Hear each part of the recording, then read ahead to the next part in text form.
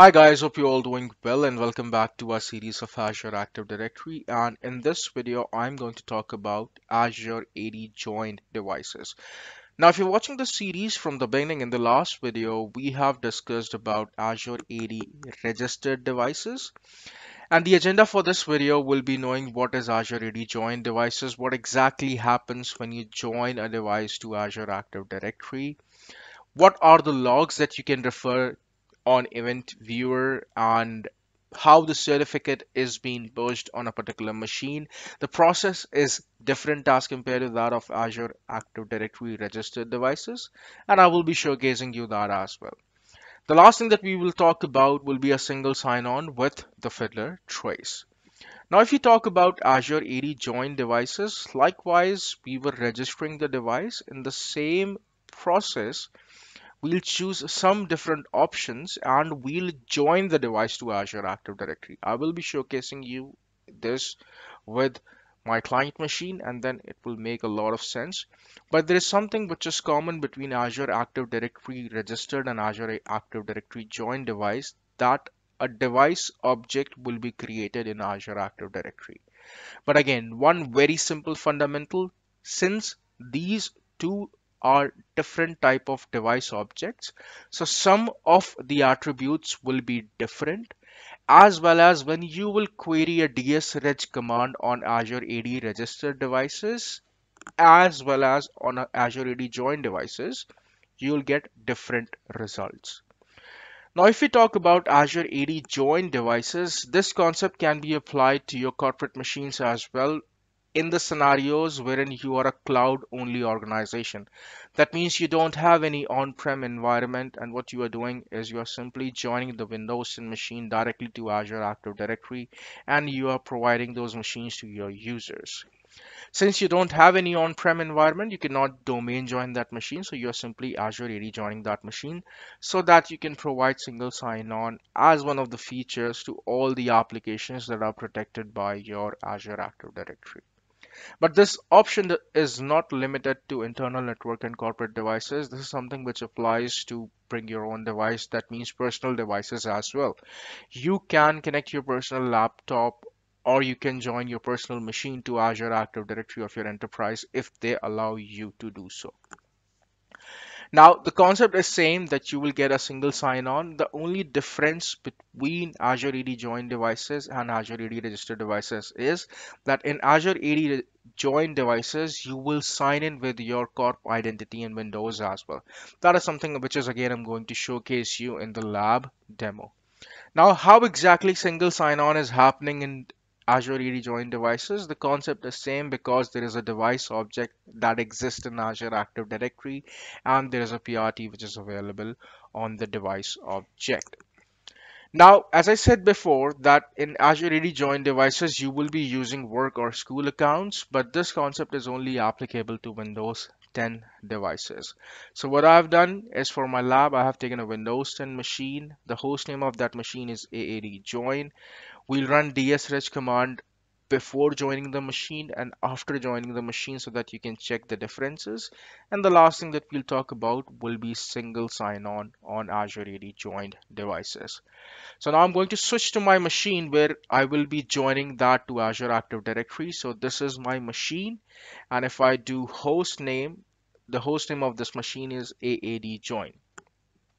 In the previous video, I have opened the certificates for user context, but in this, I have opened it for my computer. And once we'll join this machine to Azure Active Directory, you will see two certificates getting populated here.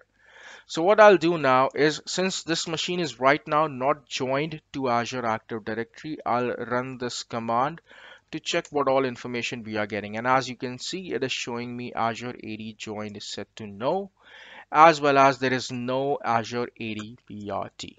These are the two basic differences that you have to keep in mind before we can go ahead and join this machine to Azure Active Directory. There is one more thing which is very important and which I would like to show you guys and that is the event viewer. That means which folder you should refer to to check the logs that are getting generated while your machine is getting Azure AD joined. So for that, what I'm going to do is I'm going to click on Microsoft and then I'm going to click on Windows. And now I'm going to select the folder which is user device registration. And in that folder, all the logs will get generated once this machine will be joined to Azure Active Directory. So this is the admin folder which I have just cleared for the reference so that uh, all the tasks that we will do should get recorded here and you should have a better understanding of what kind of logs are generated, what exactly, what kind of information has actually been pushed on this particular machine from Azure Active Directory. So what I'll do now is I'll click on start and I'll click on settings and then I'll click on accounts and I will click on access work or school. And again I will click on connect. Now if you remember that when we were doing Azure AD registered devices we were simply typing the UPN here and we were clicking on next. That was registering uh, this particular device to Azure Active Directory but we have to join now. So what we'll do is we'll select this option of join this device to Azure Active Directory and this is the only difference when it comes to getting the device registered and joined to Azure Active Directory. So what I'll do is I'll type in my UPN and then I will type my password and I will click on next. Now there is a difference when it comes to user experience. This is something which you will not get when you will try to register your device. This is something which you will only get when you are joining the device. And what does this mean? That this user with which I'm joining the machine to Azure Active Directory will become the admin of this particular machine, which is as expected. So I'll click on join. Now, during this process, a device object is created, respective certificates are pushed, and that is something which I'm going to showcase you now. So I'll click on done and I'll go back to my certificates tab and I'll just refresh this and as you can see I'm getting two certificates listed over here. Now the first certificate that you see here is being issued to this. Now this is again the device ID claim of this particular object which is created in Azure Active Directory. I'll switch to that browser where I have where I have opened Azure Active Directory and I will show you this particular attribute.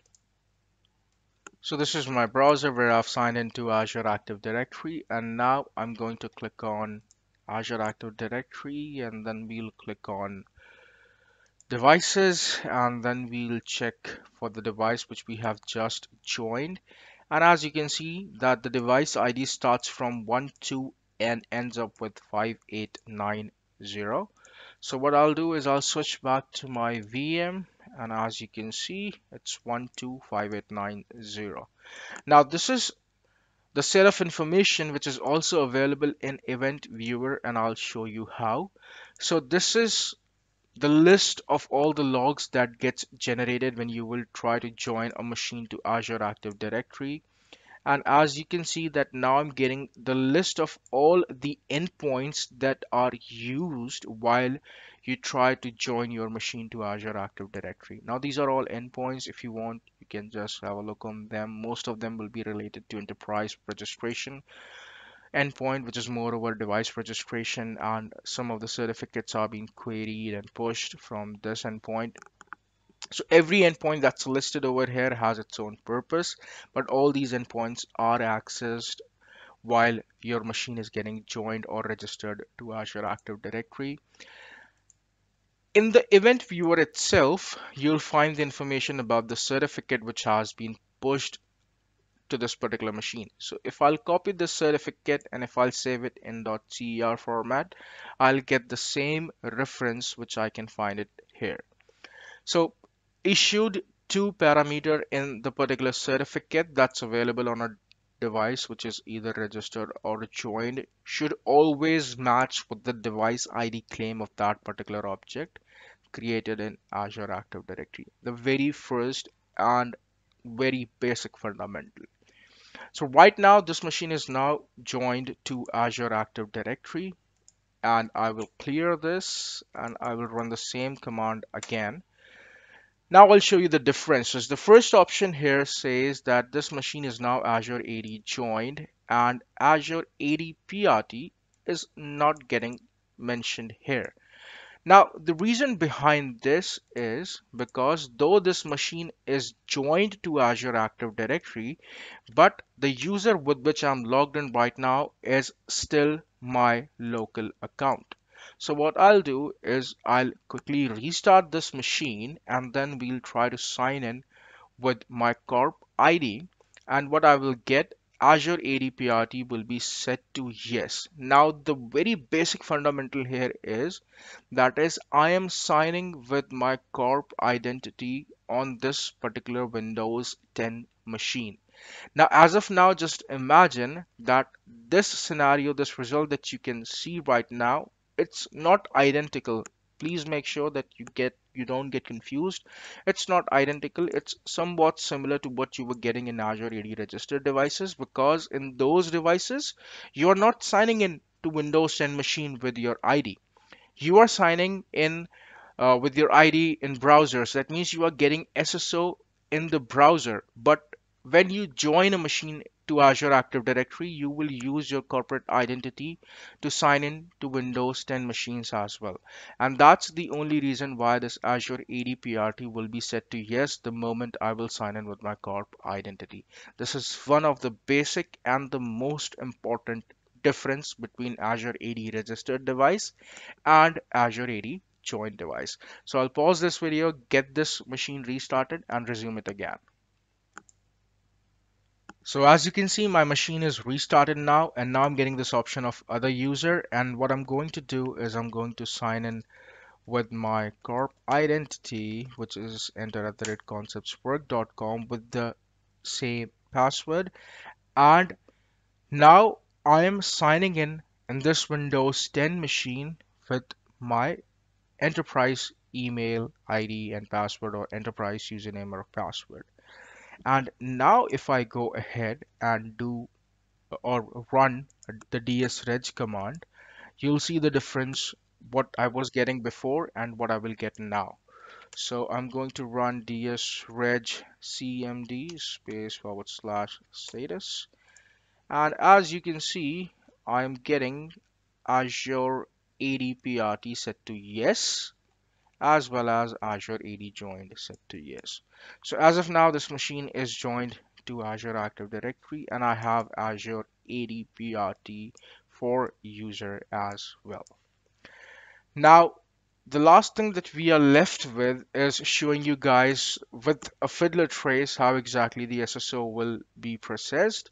So there will be no difference in terms of SSO getting processed for a particular user because I will showcase you the same cookie name with the same PRT information that's mentioned before.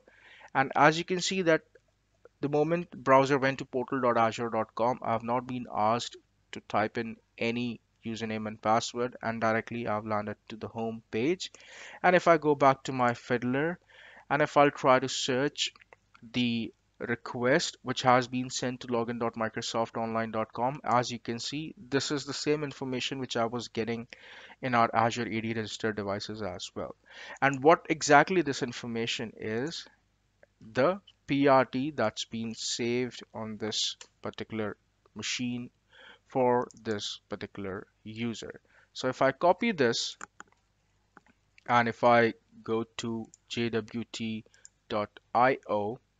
and if I paste this token here, as you can see, this is the refresh token that's been embedded with the request that's been sent to login.microsoftonline.com and on behalf of this PRT which is being sent to login.microsoftonline.com you see this uh, token uh, ID token is being sent in response and which can be tracked from here. As you can see it is showing me ID token. So if I copy this now and I go back to my browser and I paste this over here as you can see it's been issued to enter at the rate conceptswork.com so this was all about knowing how Azure AD join devices work. Let's talk about a quick summary of what all we have discussed in this video. So we have discussed about how exactly Azure AD join devices work, what exactly happens when you join a device to Azure Active Directory. We have also talked about single sign-on and event logs that you should check. User device registration folder. Certificate is saved in the computer context or for the computer folder instead of user context, which was happening in Azure AD registered devices. In the next video, I'll be talking about hybrid Azure AD join devices. If you guys have learned something new, please feel free to subscribe. If you have any feedback, question, or suggestion, please feel free to reach me at learnconceptswork at gmail.com. Thank you so much. Thanks for your time.